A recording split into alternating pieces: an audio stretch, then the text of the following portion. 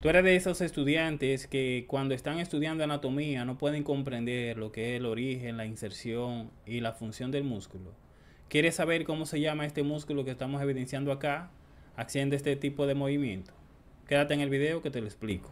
Bien, señores, aquí estamos evidenciando los músculos isquiotibiales. Los músculos isquiotibiales, ¿por qué se llaman así? Esos músculos son tres principalmente, los cuales ejercen la acción que estábamos viendo en el video, que es la flexión de la pierna sobre el muslo. Y aquí podemos evidenciar el lugar en común donde ellos se van a originar, que se llama tuberosidad isquiática, en esta zona que se evidencia acá. Ahí vamos a tener tres músculos, los cuales son el músculo bíceps femoral, que tiene dos cabezas, por eso se llama bíceps y va a encontrarse justamente a nivel de la región del muslo, en la cara posterior del muslo, para ser más específico.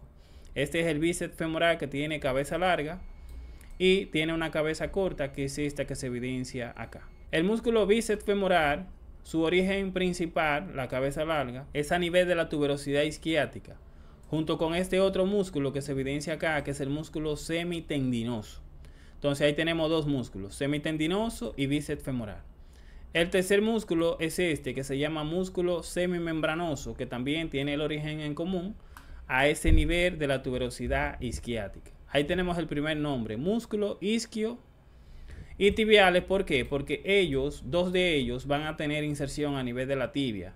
En el caso de este músculo, el último que mencionamos, que es el semimembranoso, tiene inserción a nivel de cara posterior del cóndilo medial de la tibia. Aquí tenemos.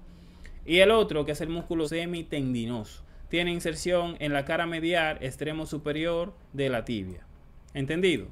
Aquí podemos evidenciar el otro músculo, que es el músculo bíceps femoral, en este caso el tendón de este, va a tener inserción a nivel de la cabeza del peroné. Así que ya saben, esos son los músculos isquiotibiales. Ellos van a delimitar un espacio acá, que eso ya les sirve para los estudiantes de medicina que estén cursando la asignatura de anatomía.